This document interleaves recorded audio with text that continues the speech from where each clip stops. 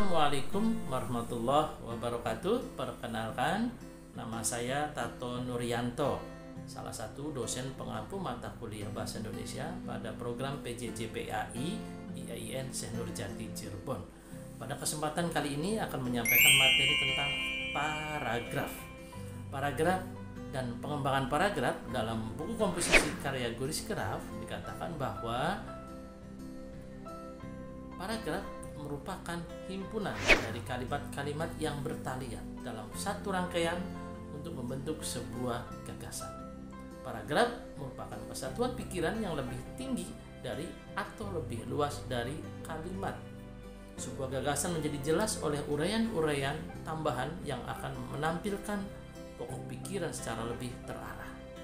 Bagaimana fungsi paragraf?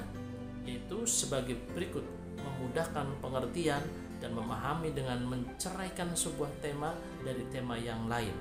Oleh sebab itu, tiap alinea hanya boleh menjadi satu gagasan. Jika terdapat dua tema, paragraf itu harus dipecah menjadi dua paragraf terpisah. Memisahkan dan menegaskan perhentian secara wajar dan normal dengan demikian pembaca berhenti agak lama sebelum berpindah paragraf dengan perhentian yang lebih lama informasi yang tersaji dalam paragraf dengan mudah diserap pembaca.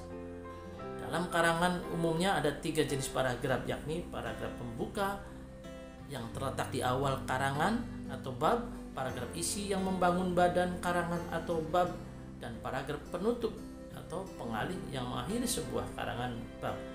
Sayangnya masih banyak penulis yang tidak mengetahui atau tidak memahami fungsi paragraf pengembang paragraf atas paragraf pembuka, paragraf penghubung, atau isi dari paragraf penutup.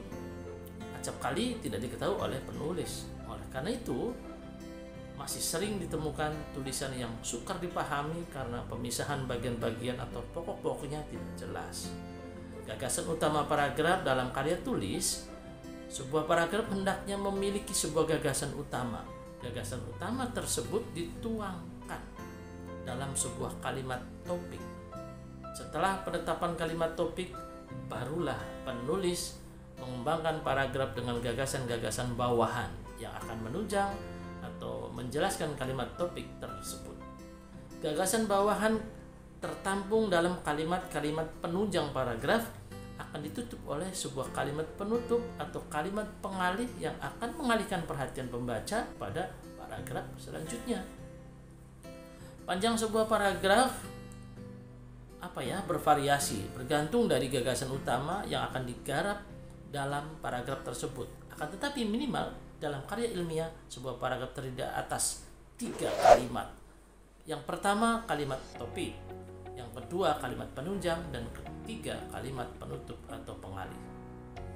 Peran dari sebuah kalimat topik atau kalimat pokok acap kali tidak diketahui oleh penulis padahal penempatan kalimat topik yang tepat dan pengembangan paragraf yang baik akan memudahkan pembaca membuat ringkasan jika rumusan kalimat topik tidak jelas.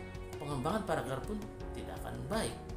Sebuah kalimat topik dapat diletakkan di awal paragraf di akhir paragraf di tengah paragraf serta di seluruh paragraf jika paragraf itu bersifat naratif dalam karya ilmiah dianjurkan sebuah kalimat topik diletakkan di awal paragraf. Bentuk ini dianjurkan dalam pengembangan paragraf yang bersifat deduktif. Cara lain penulisan karya ilmiah ialah meletakkan kalimat topik pada akhir paragraf.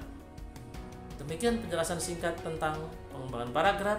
Selamat beraktivitas. Wassalamualaikum warahmatullahi wabarakatuh.